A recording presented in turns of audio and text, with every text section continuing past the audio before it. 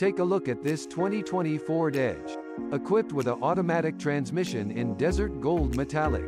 This car comes with some great features including all-wheel drive, Bluetooth, alloy wheels, Android Auto and more. Come in and check it out today.